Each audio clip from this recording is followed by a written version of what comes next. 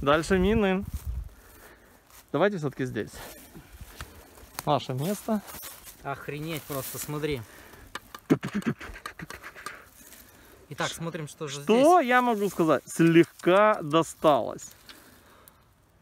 Слушай, сохран просто огонь. Вот, друзья, С глубинный рожками, рогачами. антуражный рогач. Смотри, короче, декальки не будет. Ну, давай Это не- само собой. Я... Вот входное, входное. Так и что, тут везде входное. Использовали, скорее всего, как мишень. Да, кака... да, для осколков.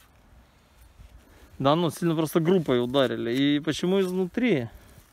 Кстати, Вырвано. Сохран А. хороший. Сохран огонь, да, будет красочка. Краска будет, друзья, это мы... Знаете, да, что декаль находится на левой стороне под люверсом.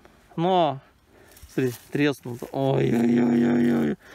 При продаже каски на вопрос покупателя, а целая ли каска без повреждений, Вот отверстий, свищей и щелей нет. Геометрия сохранена. Геометрия не нарушена. Смотри, прям три в ряд, видишь? Это что ж тут наши с ними делали?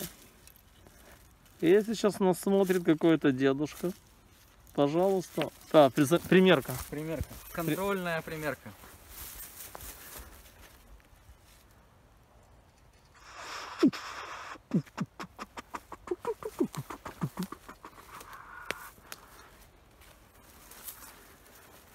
Ой, досталось воину. Ой, досталось. Ой, тяжело ли Ой, мне? досталось Тяжело. воину тьмы. Заслужил ли я чай? Заслужил. А, на бутерброд заработал. Заработал. Просто. Просто сейчас, друзья, мы с вами видим следы войны. А, Одевать ли такие вещи? Вы там комментируете, что мой напарник маньяк? Да, да. Кстати, те люди дали прозвище маньяк. Пр- Профессорский маньяк. А, эксперт. Маньяк-эксперт. Сейчас тут вот эта фотка, сейчас подожди.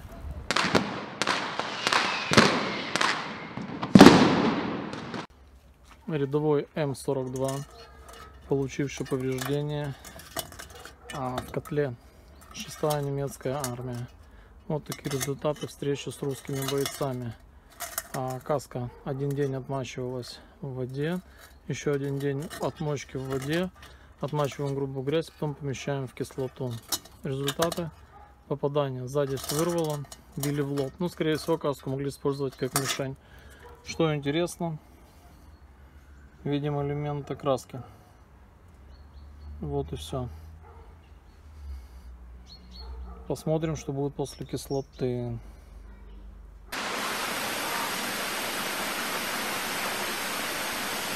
Первая э, кислотная баня.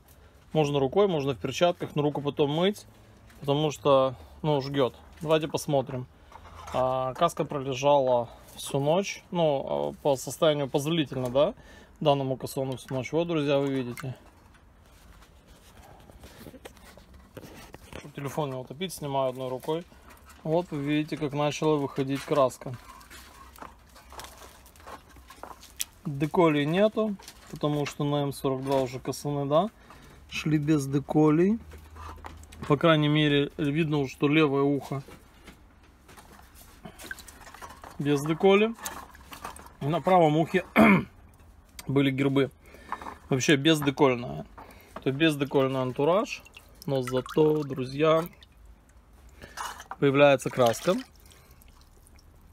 Ну, видите, да. То есть у нас получается такой цвет.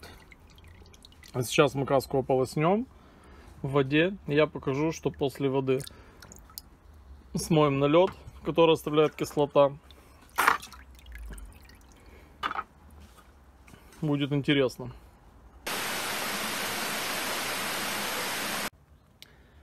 Первая кислотная ванна. А, ополоснули водой. Видим, друзья, ржавчина потихоньку слетает, открывается краска. Особенно это видно вот здесь. В тех частях шлем левая сторона горела. Вот. Значит, раствор сделал слабый, не сильно так как меня целый день нет дома, и вот на целый день хватает, чтобы а, данную ржавчину сбивало. И вот, друзья, сами видите цвет открывается, какого цвета был шлем. Сейчас потихонечку в тот же раствор до завтра до утра ложим. И вот так потихоньку-потихоньку щеткой с большим ворсом и с маленьким ворсом вытягиваем, ржавчину снимаем.